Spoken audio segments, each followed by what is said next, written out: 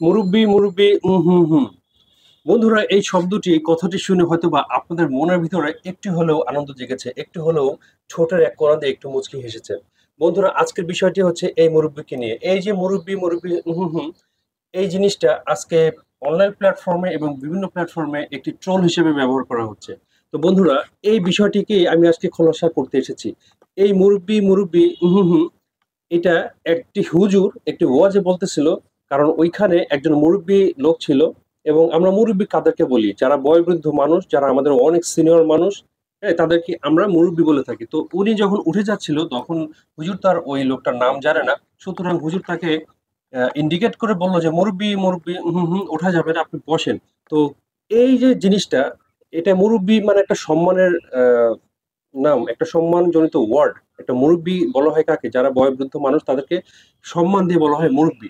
তো বন্ধুরা, আজকে মানে এমন একটি জায়গায় আমরা পৌঁছে গেছি। এই মুরব্বী মুরব্বী এই জিনিসটাকে কাট করে নিয়ে এমনভাবে ট্রল করা হচ্ছে, বিভিন্ন জায়গাতে এটা নিয়ে ফানি ভিডিও হিসেবে ব্যবহার করা হচ্ছে এবং এমন এমন ভিডিও তৈরি করা হচ্ছে যেগুলো আসলে রুচিসম্মত না। তো আর এই যে মুরব্বীকে নিয়ে যে কথাটা বলল এটা একটা ওয়াজের মধ্যে বলা হয়েছে। তো এখন হুজুররা কি যারা ওয়াজ মাহফিল করে বা তারা কি মানে এমনটাই অপরাধ করে ফেলে যে তাদের কোনো কিছু বললে এরকম ভাইরাল করে দিতে হবে?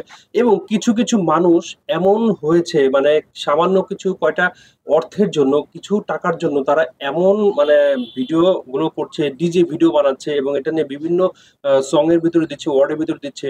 আরে ভাই ক্রিয়েটিভিটি থাকলে নিজে থেকে কিছু করো।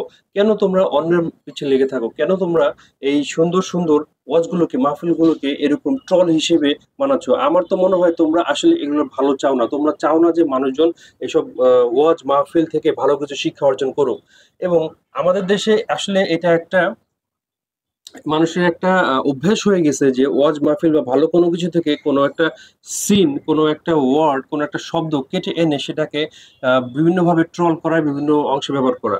আমাদের দেশ আমাদের দেশ একটি মুসলিম কান্ট্রি এবং আমাদের দেশে আসলে আল্লাহর অলি আউলিয়া, কুতুব কত কিছু এসেছেন এবং আমরা আসলে ধর্ম প্রাণ প্রিয় মানুষ। হ্যাঁ, আমাদের আসলে রুচিতে বাধা উচিত। আমাদের আসলে এগুলোকে বাধাগ্রস্ত করা উচিত। আজকে সেই যে মরবে মরবে এই ওয়ার্ডটাকে নিয়ে মানে এমন এমন ট্রল করা হচ্ছে এমন এমন ফানি ভিডিও বানানো হচ্ছে মানে প্রচুর পরিমাণে এটা ভাইরাল হয়ে গেছে ছড়িয়ে গেছে এবং ছড়াছড়ি হয়ে গেছে। আমি বলব যারা আসলে এই এ ধরনের কন্টেন্ট তৈরি করেন তাদের কন্টেন্ট আপনারা কেউ দেখবেন না।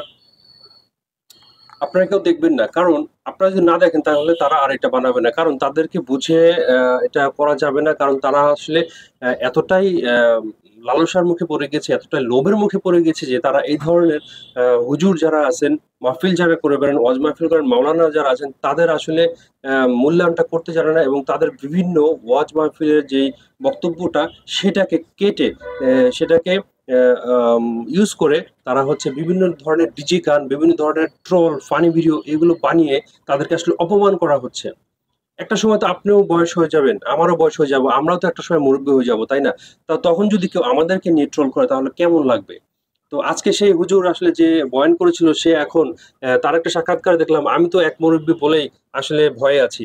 রাস্তাঘাটে যখন বের হই, সবাই আমাকে আসলে দেখলে চলে আসে সেলফি তোলার জন্য।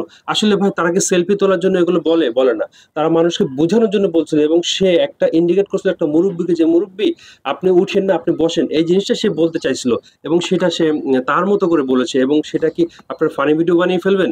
সেটাকে আপনার ট্রল হিসাবে ইউজ করবেন? আমরা অনেকেই না বুঝেই অনেক কিছু করে ফেলি। আসলে সেগুলোর মাসুল, সেগুলোর খেসারত আমাদেরকে কিন্তু একসময় দিতে হবে। আমরা এখন বিভিন্ন জায়গায় দেখবেন অফিস আদালত, বিভিন্ন মার্কেট ইন্ডাস্ট্রি, বিভিন্ন জায়গায় কিন্তু সিসি ক্যামেরা, সিসিটিভি বসানো থাকে, ঠিক আছে? আপনি কি করতেছেন, না করতেছেন, সকল ফুটেজ কিন্তু সেখানে রেকর্ড হবে। এই ভয়ে আপনারা অনেক অনৈতিক কাজ, অনেক অশ্লীল কাজ, অনেক কিছুই কিন্তু সেখানে করেন না, সেখান থেকে বিরত থাকেন। ঠিক মনে রাখবেন, আমরা এই পৃথিবীতে যা করতেছি, আমাদের উপরে, আমাদের সেই স্রষ্টা, সে আল্লাহ কিন্তু আমাদের সিসি ক্যামেরা। ঠিক আছে? ফিট করে রেখেছেন আরশের উপরে। সুতরাং আপনি যখন মারা যাবেন, যখন কেয়ামত আসবে, যখন আপনি সেই কেয়ামতের মাঠে উঠে দাঁড়াবেন, তখন সেই ফুটেজগুলো কিন্তু আপনাকে দেখানো হবে যে আপনি কিন্তু এই ট্রলটা করেছিলেন। আপনি কিন্তু এই ফানি ভিডিওটা করেছিলেন, অমুক হুজুরের এই ভিডিও অংশটা কেটে নিয়ে আপনি এটা করেছিলেন।